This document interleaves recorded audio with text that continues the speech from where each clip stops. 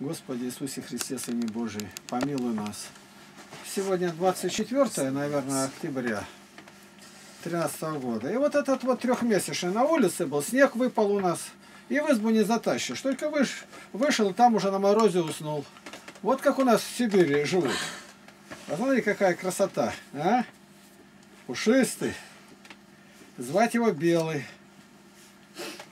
Ну давай. Откровение 21 глава 5 стих. «И сказал сидящий на престоле, «Се творю все новое». И говорит мне, «Напиши, ибо слова сии истины и верны». Толкование. Исходя из слов стиха 6, ясно, что сидящий на престоле и говорящий эти слова есть Господь Иисус Христос. Эти слова и ранее говорил Христос, и они приличествуют Ему. Но сказано, что после страшного суда и начала нового мира и вечности, тогда и сам Сын покорится покорившему все Ему. Да будет Бог все во всем. 1 Коринфяна 15 глава 28 стих. Человеческая природа Иисуса Христа стала причастна божественной славе. И будучи природой второй ипостаси Троицы, причастна самой Троице. Господь говорил апостолу Филиппу, «Видевший меня, видел Отца. Как же ты говоришь, покажи нам Отца?» Евангелие от Иоанна, 14 глава, 9 стих. Так и в этом видении Иоанна можно разуметь всю Пресвятую Троицу в ее единении с прославленной человеческой природой. Господь снова возвещает великую истину по бытия. «Се творю все новое». Образ прежнего мира прошел, настало все новое. И вот я творю новое небо и новую землю, и прежние уже не будут воспомина... воспоминаемы и не придут на сердце. Исайя 65 глава 17 стих.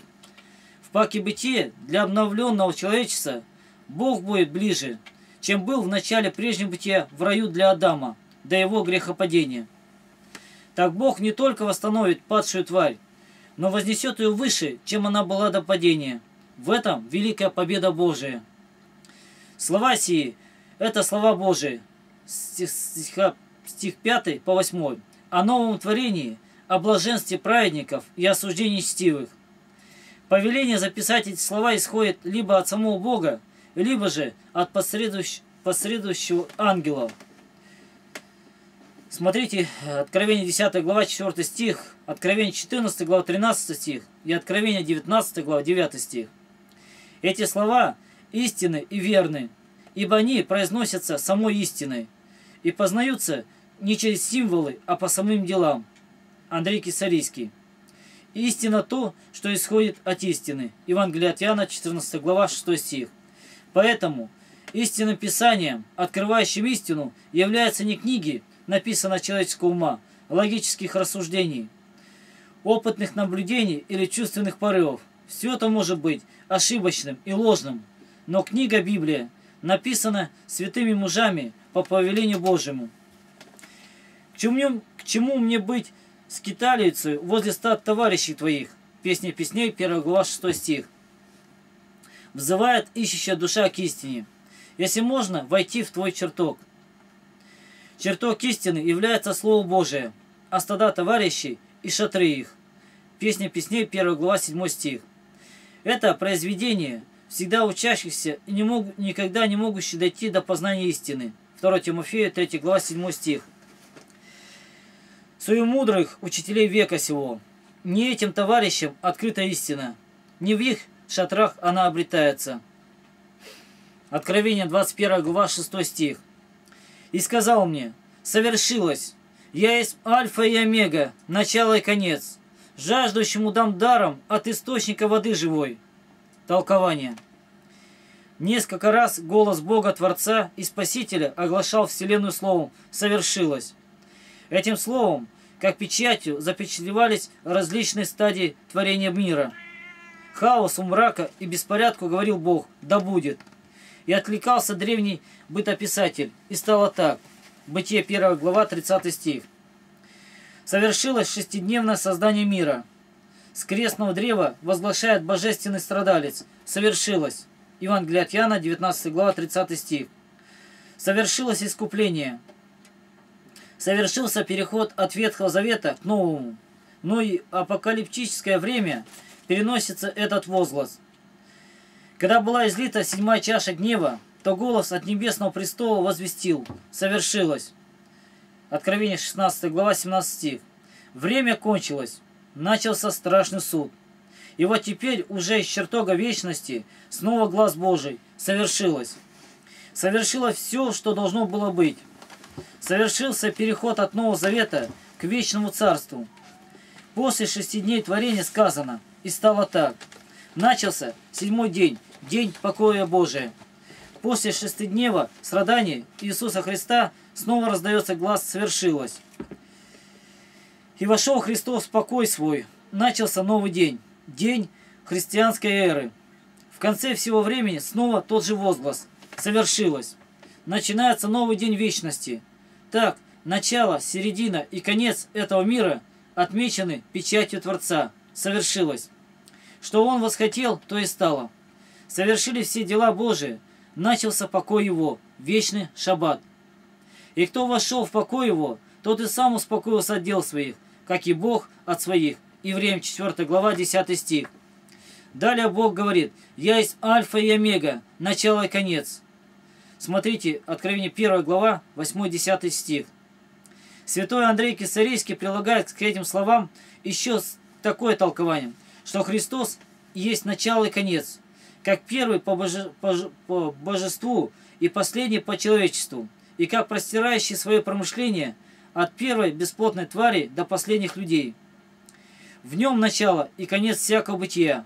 Все им и для него создано. Колосинам 1 глава 16 стих. Об этом так писал блаженный Августин. Ты создал нас для себя, и не знает покоя сердце наше, пока не успокоится в тебе. И как весь космос имеет свое начало и конец в Боге, в Сыне Его так и все до самого мельчайшего в нашей жизни должно иметь в нем свое начало и конец. Человек, всякое ли свое дело в жизни начинаешь со Христом и, и завершаешь в нем. И далее слышит Иоанн, жаждущему дам даром от источника воды живой. Сотворенная Богом тварь стремится к нему и жаждет его. Как лань желает потоком воды, так желает душа моя к тебе, Боже. Жаждет душа моя к Богу крепкому, живому. Псалом 41, 2, 3 стих. Взывал священный певец.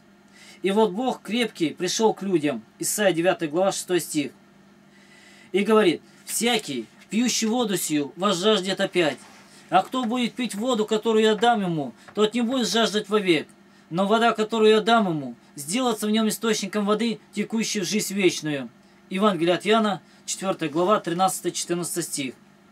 Вот стоит Божественный Иисус и возглашает, кто жаждет, иди ко мне и пей. Евангелие от Иоанна, 7 глава, 37 стих. Припади, жаждущая душа, божественному источнику, и пей, пей животворящую воду. Откровение 22 глава, 1 стих. Вода жизни – это Дух Святой, который от Отца исходит. Евангелие от Иоанна, 15 глава, 26 стих. Как от источника. Евангелие от Иоанна, 7 глава, 39 стих. Посылай же его, его Христос, почему он и говорит, что сам даст эту воду. Откровение 21 глава 6 стих, Евангелие от Иоанна 15 глава 26 стих. В пустыню земли истекают теперь эти потоки воды жизни, потоки Духа Святого, напаяя жаждущих странников. Изливается Дух Святой через святые таинства, через слова Священного Писания, через святых, через все освящаемое в церкви, святая вода, иконы. Только приди, жаждущий, и пей. Пей даром, ибо Господь сказал своим ученикам и их преемникам, этим раздателям воды жизни, даром получили, даром давайте. Матфея 10 глава 8 стих. Если бы человеку было как-то дано купить или заработать благодать и спасение, то многие приложили бы все усилия для этого. Не посчитались бы ни с большими деньгами, ни с трудностями различных дел и поездок, лишь бы купить эту воду жизни. Но, но она так не обретается, а дается даром кающейся и жаждущей душе. Потому человек не может купить благодать, что ничего не имеет для ее обретения, он грешен. даже самую малую долю спасения он не может получить своим богатством и своими усилиями. Человеком это невозможно. Матфея 19 глава 26 стих. Все же для нас сделал Бог и не упустил ничего. Деяние 8 глава с 20 по 22 стих. Верующие должны ясно уразуметь, что благодать и всякое священнодействие даются даром.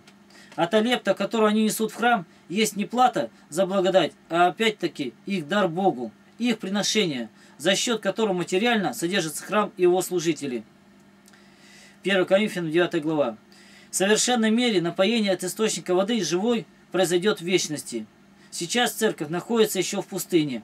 Песня песней, песня песней, 3 глава, 6 стих и 8 глава, 5 стих и подвязается в безводных местах этого мира греха и неправды. Но блаженны алчущие и жаждущие правды, ибо они насытятся. Матфея 5 глава 6 стих. В вечности сам Бог напоит всякого, жаждущего истины, духа и красоты. Сейчас стремление к Богу и только потом полнота общения с Ним. Даром даются все блага будущего века, ибо все нынешнее ничего не стоит в сравнении с Ним. Они не приобретают имением, но, дают, но даром дает Бог верующим в Него. Однако, если человек и не может, и не спастись сам, не купить своего спасения, но даром все приемлет от Господа, то это вовсе не значит, что спасутся все, и человеку ничего не нужно делать. Откровение, 21 глава, 7 стих. «Побеждающий наследует все, и буду ему Богом, и он будет мне сыном». Толкование. Для наследования вечных благ и жизни в Боге необходимо победить мир греха. Ибо всякий, рожденный от Бога, побеждает мир. И сия есть победа, победившая мир, вера ваша, вера наша. 1 Яна, 5 глава, 4 стих. Рождение от Бога и всякая благодать даются даром, но даются для того, чтобы, облегчить в это все оружие Божие. Ефесянам 6 глава, 13 стих. Подвязаться и побеждать мир. Крест – величайший дар Божий людям, дан даром. Для сего примите все оружие Божие, дабы вы могли противостоять в день злый, и все преодолев устоять. Послание к Ефесянам, 6 глава, 13 стих. Все оружие Божие дается нам даром, но противостоять и преодолевать с его помощью должны мы сами. Только кому на земле Господь был Богом, тому он будет и там Богом. Кто на земле жил, как чадо Божие, тот и там будет ему сыном. Откровение 21 глава, 8 стих. Боязливых же и неверных, и скверных и убийц, и любодеев, и чародеев, и идолослужителей, и всех лжецов учить в озере, горящим огнем и серую. Это смерть вторая. Толкование не только лишаться, лишается Царствия Божия, 1 Коринфянам 6 глава с 9 по 10 стих, но будет в озере горящим огнем серую. Это смерть вторая. Грамотные люди нашего века, иногда даже и верующие, посмеются над якобы примитивным представлением церкви, что вот где грешники будут жариться в гиенском огне. Но ведь примитивно-детское представление часто бывает самым правильным и неискаженным лжеименной мудростью. Да, действительно, и душой, и телом грешники будут гореть в нестерпимом огне гиены. Огненные муки постигнут разум, чувство, волю и тело нечестивца. То есть неправильно представление только лишь телесного, телесном огне, а только лишь телесном огне. Огонь гиены поразит все душевное, телесное существо человека. Господь перечисляет различные роды грешников – что будут мучиться в вечном огне второй смерти. Боязливые – это те, о которых говорил Господь в притче. А посеянное на, каменист, на каменистых местах означает того, кто слышит слово и тотчас с радостью принимает его, но не имеет в себе корня и не постоянен. Когда настанет скорбь или гонение за слово, тотчас соблазняется. Матфея 13 глава, 20-21 стих боязливы, боязливыми и маловерными были некогда и ученики Господа. Матфея 8 глава 26 стих и Марка 4 глава 40 стих. Это особенно проявилось, когда они оставили его во время крестных страданий. Но позже они все укрепились в Боге. мужественно пронесли весть о Христе во все концы Вселенной и приняли мученическую кончину. Может показаться, какой грех в боязливости. Разве приносит боязливость кому-нибудь вред?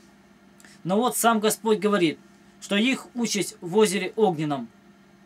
Ибо кто постыдится меня и моих слов, того Сын Человеческий постыдится, когда приедет во славе Своей и Отца, и святых ангелов. Луки 9 глава, 26 стих. И ныне много боязливых. Они не отвергают Бога, не борются против Него, но стыдятся, стесняются и боятся.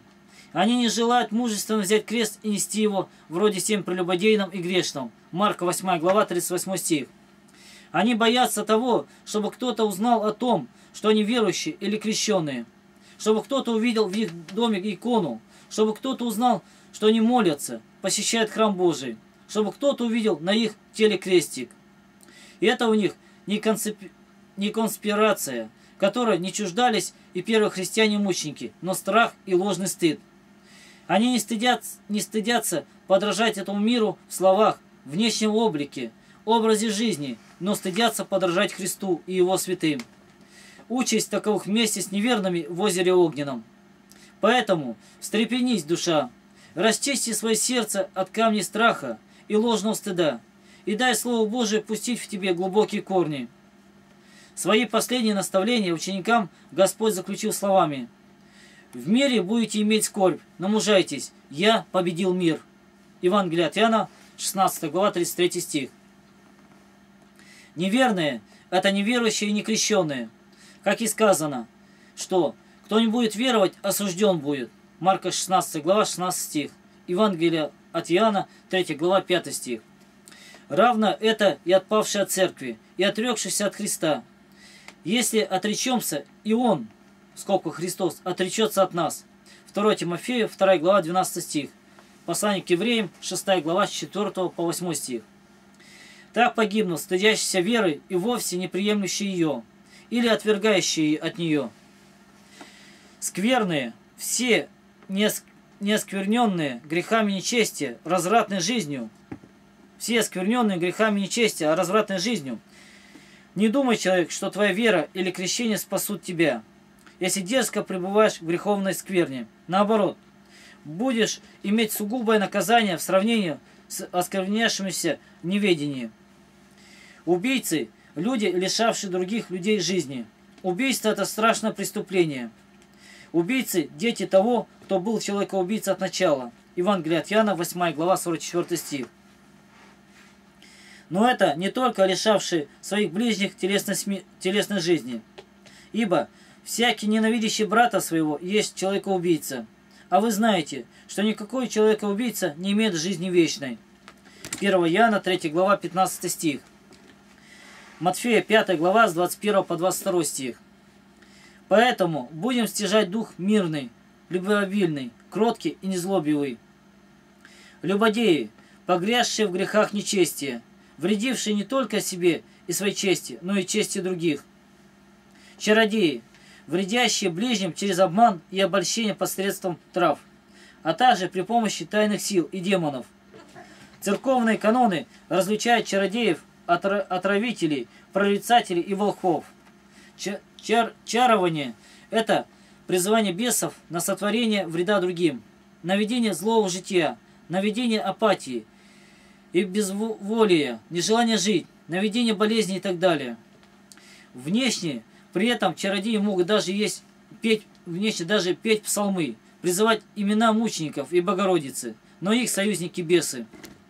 Отвратители трав, травами и другими средствами отравляют людей, дурно воздействуют на психику. Прорицатели через общение с демонами прорицают будущее. Волхвы призывают якобы благотворных бесов и делают внешне доброе – фактически же портят и губят душу. Волхвы же занимаются астрологией. Помимо, помимо этого, есть еще гадатели, спиритисты, маги и прочие земные служители ада. Все, совершающие эти грехи, строго наказываются по церковным канонам. Описанием облекаются на вечной муки в гене огненной. Поскольку часто бывает трудно отличить Божью силу от бесовской, ибо чародей внешне маскируется в благочестивую оболочку, да и велика обольстительная сила сил чар, то лучше всего прибегать лишь к помощи церкви. Ведь и дар развлечения духов дается только иным. 1 Коринфянам 12 глава 10 стих. Поэтому не должны на это дерзать все, а пользоваться испытанно благодатными средствами церкви. Это тем более важно в наш век всеобщего смешения понятий дух, духов и учений. И чтобы ты не встретил, христианин, осени себя, окружающее крестным знаменем, сотвори молитву и уповай на Бога, дабы остаться чистым, неоскверненным от всякой чародейской и демонической силы. Отче наш, не веди нас в искушение, но избавь нас от лукавого. Матфея 6 глава, 9-13 стих. Поклоняясь кумирам и всякой твари как божеству, идолослужители фактически поклонялись и приносили жертву бесам. 1 Коринфянам 10 глава 20 стих. И тем уготовили себе участь в озере, горящим огнем и серой. И под конец Господь перечисляет всех лжецов. Ложь находится у истоков всяких грехов. Евангелие от Иоанна, 8 глава, 44 стих. Многие считают, что если они не грабители и не убийцы, то от них, собственно, и грехов нет. Но кто свободен от лжи? Кто никогда в жизни не обманывал? А учишь лжецов одна с убийцами неверными. И многие христиане допускают в своей жизни ложь. Утверждают, что есть святая ложь и ложь во спасение. В определенных случаях, дескать, можно говорить неправду. Но так ли это? Во-первых, где та черта, которая указывает, где, когда можно лгать, а когда нет. Как и на основании чего практически в тех или иных ситуациях решать, лгать или нет. Нам кажется иногда, что в какой-то ситуации обязательно надо солгать. Но проходит время, и обнаруживается, что можно было и даже нужно было не лгать. И, про... и практика показывает, что люди, допускающие ложь во спасение, начинают лгать даже в таких ситуациях, когда ложь совершенно очевидно была не нужна и не служила никакому спасению. Мысль, что в какой-то ситуации обязательно надо солгать, навивается дьяволом, ибо он отец лжи. Он ставит ум человека в тупик, из которого якобы можно выйти только ложью. Взирающий же, на Бога всегда найдет выход правдой. Просто в это надо верить до конца. Матфея 10 глава 19-20 стих. А Дух Отца есть Дух истины. Евангелие от Яна 15 глава 26 стих. А не лжи. Во-вторых, нет ничего тайного, что не сделалось бы явным. И ничего не бывает потаенного, что не вышло бы наружу. Марка 4 глава 22 стих. Когда твоя ложь станет явной, как засвидетельствуешь обманутому о том, чье имя истина? Евангелие от Иоанна, 14 глава, 6 стих. В-третьих, зачем же нам заповедано быть мудрыми? Матфея, 10 глава, 16 стих. Если можно лгать. Мудрость в том и состоит, чтобы не солгав, найти выход. Можно отвечать уклончиво, отвечать на вопрос, отказаться отвечать, молчать, но не лгать. В-четвертых, нам скажут, Какие же такие праведники, как Раав из Ерихона или царь Давид, прибегали к лжи и были оправданы Богом? Действительно, многие ветхозаветные праведники прибегли к неправде, но ведь были многие из них и многоженцами. Ветхий Завет был где-то водителем ко Христу, Галатам 3 глава 24 стих. Новый Завет дал закон совершенный. Многое, что дозволялось в Ветхом Завете, уже недоступ, недопустимо для времени благодати. Нагорная проповедь Спасителя показывает нам возвышение Нового Завета перед Ветхим, возвышение благодати перед законом. В Новом Завете мы уже нигде не находим ни тени неправды в устах праведников. В-пятых, не может быть святой лжи, ибо всякая святость от Бога, а ложь свое для сатаны. Евангелие от Иоанна, 8 глава, 44 стих. Написано, всякая неправда есть грех. 1 Иоанна, 5 глава, 17 стих. А может ли грех быть святым? Может ли грех войти в Царствие Божие? Может ли быть тьма светлой? В-шестых, не может быть лжи во спасение, ибо кто говорит ложь, не спасется. Притча 19.5. И кто говорит ложь, погибнет. Притча 19.9. Также говорит Господь в Апокалипсисе. А вне, в скобках небесного Иерусалима, всякий люб, любодя, любящий и делающий неправду. Откровение 22 глава 15 стих и всех лжецов участь в озере горячим огнем и серую. ясно сказано, что всякая ложь, с какой бы целью она ни совершалась, ведет к вечным мукам гиены. Откровение, 21 глава, 9 стих. «И пришел ко мне один из семи ангелов, у которого было семь чаш, наполненных семью последними язвами, и сказал мне, «Пойди, я покажу тебе жену, невесту Ангца». Толкование. Видим, что один и тот же ангел может совершать совсем различные служения. Сходные слова обращения ангела к Иоанну в обоих случаях. «Подойди, я покажу тебе суд над великую блудницей». Откровение 17 глава 8 стих. «И пойди, я покажу тебе жену, невесту Ангца». В Откровении 19 главе 7 стихе мы видим жену, невесту Ангца, приготовившую себя для брака, ожидающую великое таинство. Теперь же видим их теснейшее блаженное общение. Что тогда было радостным ожиданием, то теперь блаженная действительность. Ангел говорит Иоанну, «Пойди, я покажу тебе». О чистые очи тайнозрителя, удостоены этого дивного видения – Воистину, блаженны чистые сердцем, ибо они Бога узрят. Матфея 5 глава 8 стих. На земле видят небо, из времени созерцает вечность. Жена здесь должна разуметь не вообще женщину, а именно замужнюю женщину. Невеста Ангца – это тайны тайн Нового Завета. Это мать, рождающая и остающаяся девой. Это дева и мать в одном лице – две сущности в, одной ипостаси. В Тайне Троицы три ипостаси в одном существе. В Тайне Богородицы, Церкви, два существа, Девы и Матери, в одной ипостаси. В Тайной Церкви два существа, Девы и Матери, в одной ипостаси. Толкование на Откровение 12 глава, 1-2 стих.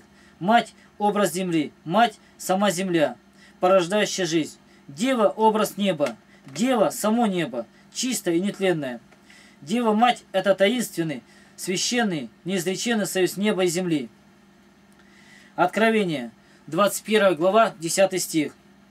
«И вознес меня в духе на великую и высокую гору, и показал мне великий город, святый Иерусалим, который не сходил с неба от Бога». Толкование. Вознесение на гору Духа Иоанна означает, что мысль его была устремлена от земли к небесному. Пустыня – духовное состояние города блудницы, а высокая гора, пишет Андрей Кисарийский, есть возвышенная и примирная жизнь святых, которая украсится и прославится с жена Ангца, горний Иерусалим. Небесный Иерусалим – Божий обитель в тварном мире, и есть жена, невеста Ангца – Откровение, 21 глава, 11 стих. Он имеет славу Божию. Светил его подобно драгоценнейшему камню, как бы камню А яспиду, кристально видному. Толкование. Не свою славу, не свою красоту, но Божию. Истинная слава твари не в ней самой, а в ее Творце. Потому славна церковь. Ефесянам 5 глава 28 стих ее святые, что сам Бог облекает их в свою славу. Христос возлюбил церковь и предал себя за нее, чтобы представить ее себе славную церковью, не имеющую пятна или порока. Послание к Ефесянам, 5 глава, 25-27 стих. Свет божественной славы излучало лицо Моисея, когда сходил он с горы к народу после беседы с Богом. Исход 34 глава, с 29 по 35 стих. И на горе Фавор Моисей и Илья, явившись во славе, беседовали со Христом. Луки 9 глава, 30-31 стих. Нетварная вечная слава Божия почила на них. Апостол Петр, видевший эту славу на фаворе, пишет всем верным. Когда явится постановначальник, вы получите неувидающий венец славы. 1 Петра, 5 глава, 4 стих. Ефесянам, 5 глава, 32 стих. Увенчанный славой и честью невеста город имеет славу Божию.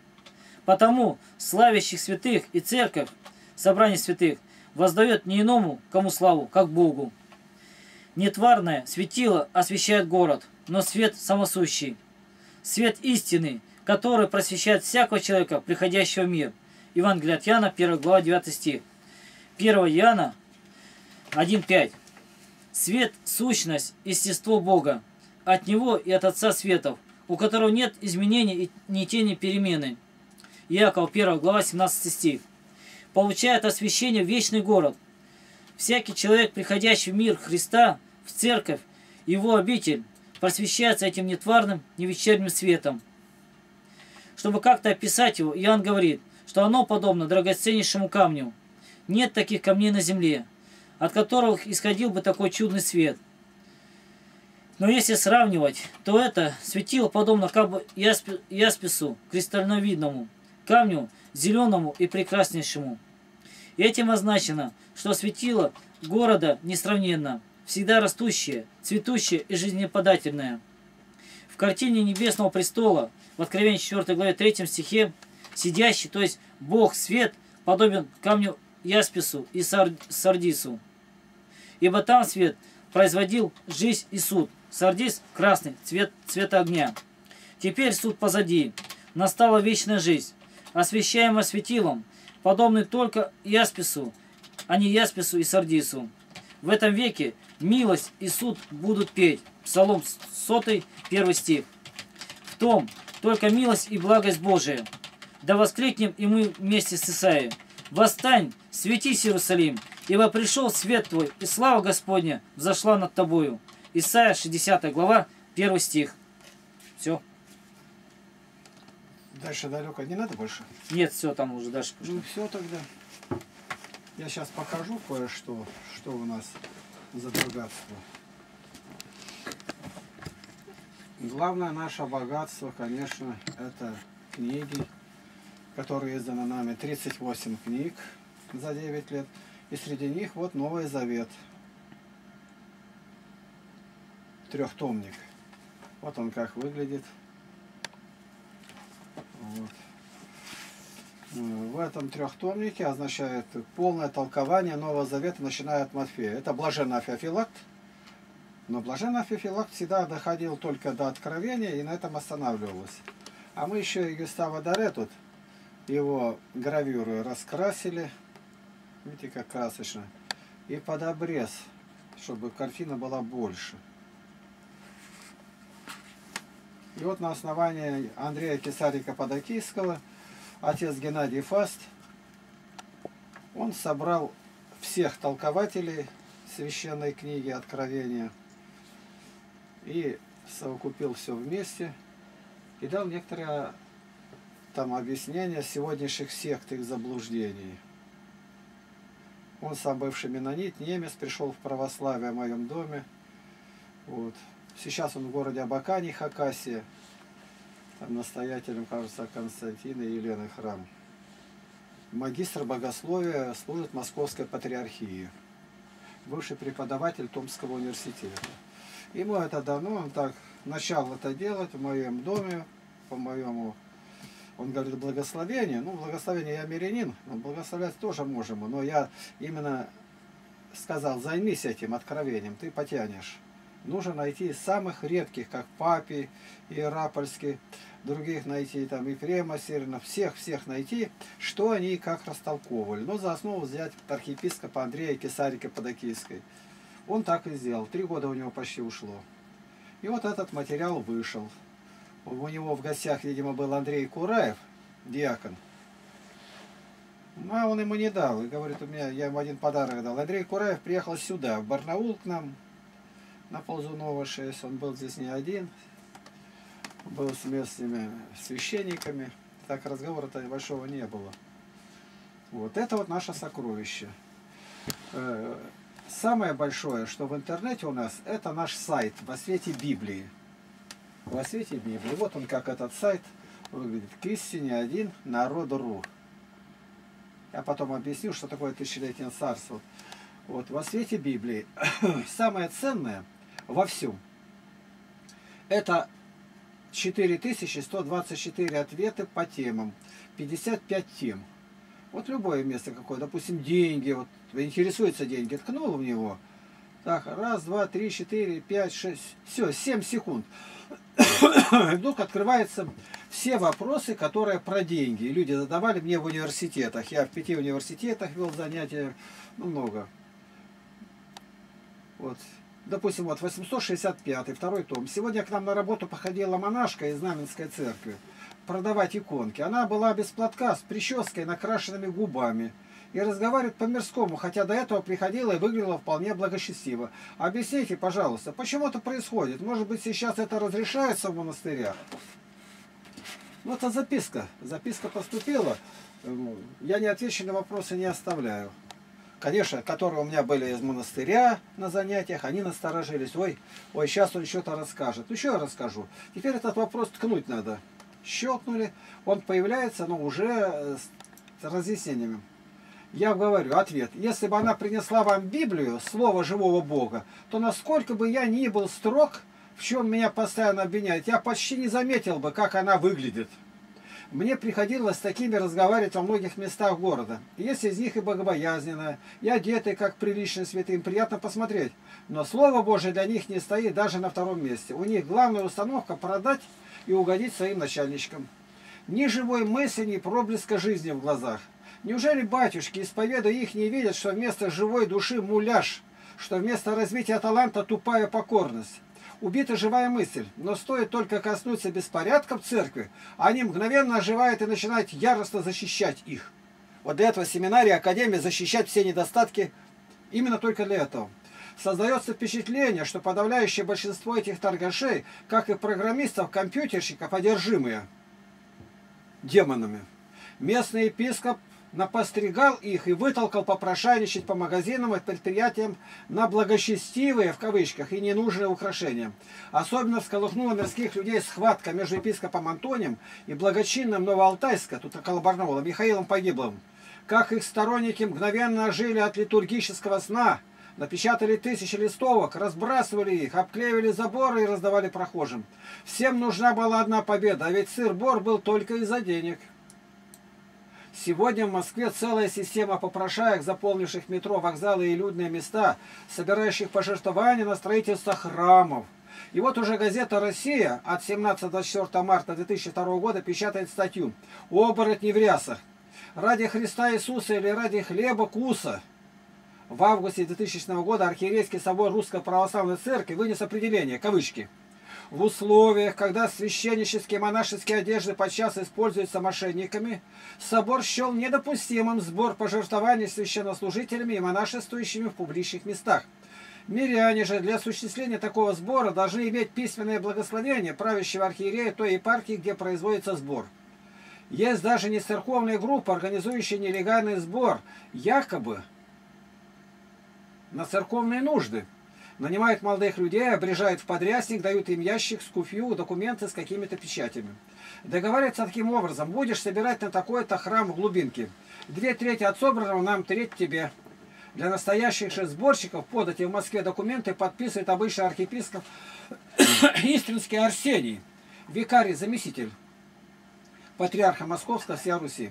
На расследование Лжесвященник сознался, что собрал около 30 тысяч рублей в Москве. Эта сумма могла быть в несколько раз больше. Ряс ушил в ателье, а собранные деньги тратил на свои нужды. Это вот один из вопросов, который я должен отвечать.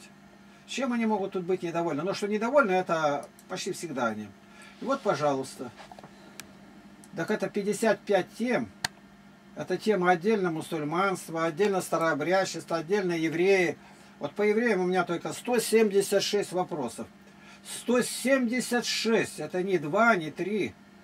Вот это, когда мы выводим здесь, как раз я отошел, вот наш сайт.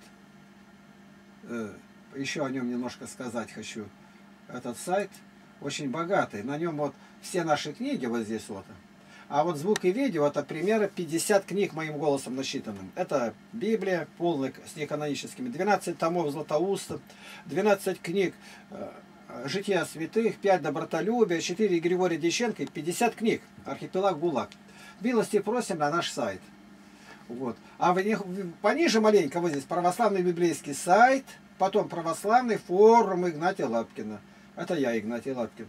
Православный. Мы в него ткнули, вот если ткнули, значит, сразу он уводит нас на главную страницу э, уже этого,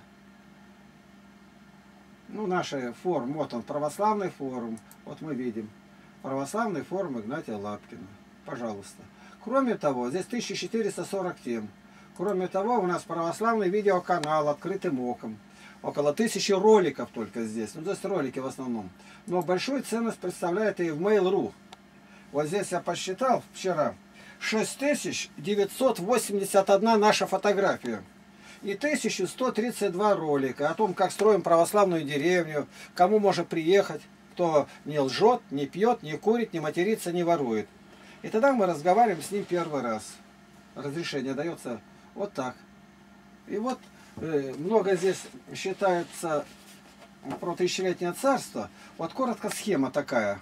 Это все подробно написано не только здесь в третьем томе Нового Завета, толкования, 20 глава э, Откровения, но и второй том открытым оком, их 30 томов. 470 страница. Христос воскрес – это начало тысячелетнего царства начало. Сатана здесь скован на Голгофе. Все.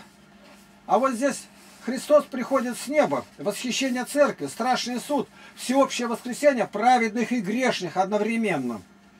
Но за три с половиной, это разовый только, дальше время кончилось. По историческая вечность наступает. А здесь вот три с половиной года время царствования Антихриста. Три с половиной года Антихрист, время скорби, сатана освобожден. Вот наш сайт. Все на этом. Кому откроет Господь, никто не закроет. А кому не открыто, он не избран. Он не избран, он думает, что избран. У избранника всегда находится место для слышания голоса Божия, для Духа Святого. А не избранный, он только спорит, хватается, будет говорить, да какое тысячелетнее царство, сейчас сатана еще что делает. Он ничего не понимает, он рассуждает по глазам грешным. Ты по Писанию посмотри, что Библия нам говорит. А Библия говорит, что все воскреснут в последний день, чтобы плевелы пшеница росли до жатвы. У меня все пока. До следующего раза.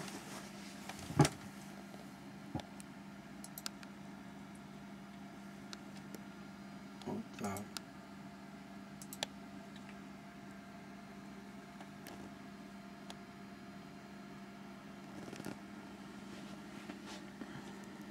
Так, форум наш. Это сайт-то есть, нет. Ну, наверное, здесь и нет. Это я сайт IT. Православный форум. Это у нас фильм там поставили. А у нас этот фильм э, «Предчувствие». Он занял первое место на международном киноконкурсе. Вот так.